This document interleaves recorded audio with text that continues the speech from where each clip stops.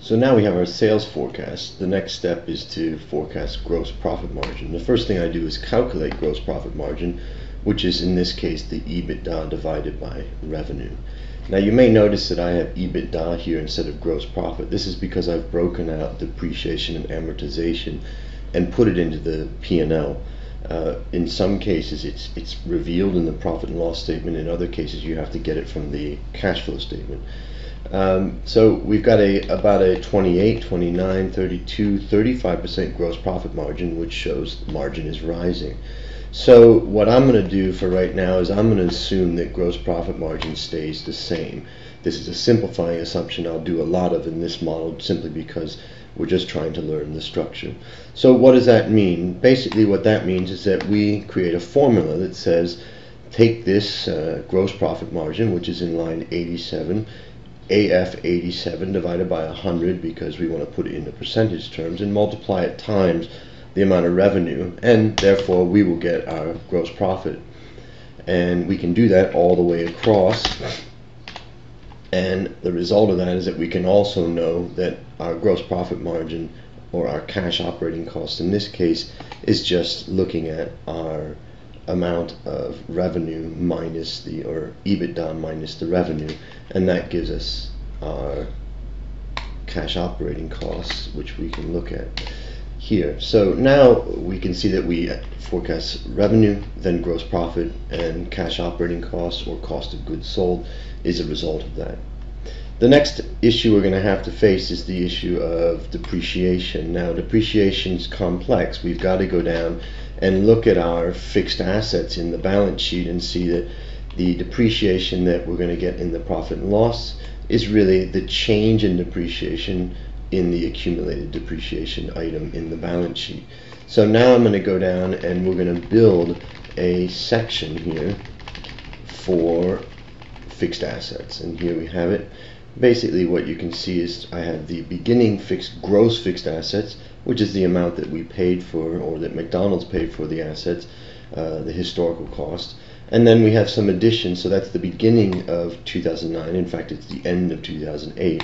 And then throughout the year, they invested another 2.288 billion in gross fixed assets, which brought their gross fixed assets to this amount. There are times that the company will sell assets or reduce the amount of assets on their balance sheet, which would be a negative. We call these net additions, usually call them capex. So the next thing we're going to have to do is forecast the capex. Now, normally we do this by talking to the company, but in this case, since we're just building a financial model, we're not necessarily talking to the company. I'm going to pick a number such as 5,000 and enter it across all of the periods.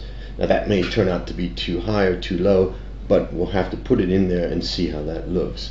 So what I can then do is from that I can get our gross fixed asset schedule because the 5,000 is being pulled down or pulled up from the forecasting section there. And so that shows that our gross fixed assets are rising each year by 5,000.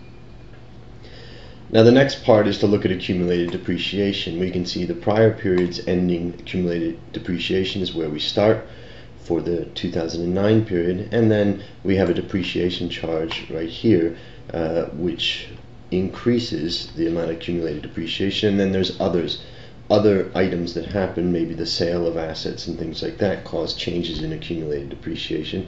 But for right now, we'll keep it simple and just call it other. Now, what that gets us is our ending or year ending accumulated depreciation, which we can just pull up into the next year, 2010. So what we now have to do is figure out, well, what's our depreciation charge? This can be very complex. In fact, we could build a whole model on fixed asset uh, acquisition and depreciation schedules. But for right now, we're going to keep it super simple. How are we going to do that? We're going to look at the amount of depreciation in the P&L, right, which is AE79 here, the depreciation charge, divided by the ending depreciation for 2009. That's going to give us a ratio. We'll multiply it times minus 100 because we want it to be positive down here. Uh, it just makes it easier for us when we're forecasting to have a positive number. And we can see it's about four, three, three and a half. So what I'm going to do is I'm going to keep that at the same level. So I'm going to say this equals that and copy that over. The result of that is that our depreciation will come in at this amount. Now, in the case of the rest of the, the, the, fixed asset, you'll often find cases where you'll have other and you won't know what is it and how to forecast it. For simplicity's sake right now, we're going to leave that other out of the calculation because we don't really know how to come up with that. Now the result of this is that we can go back up to our profit and loss statement and we can pull our depreciation charge from where? Well, it's going to come from line 79 here where we calculated a forecast depreciation. That's going to allow us to complete the depreciation portion of the P&L. It's also going to allow us to put in the gross fixed assets and the accumulated depreciation, which we're also going to pull from down below, which you can see coming from line 76 and you can also see coming from line 81 here. So I'm going to carry these over because we forecasted them out. And now we've completed that section of our balance sheet and profit and loss statement.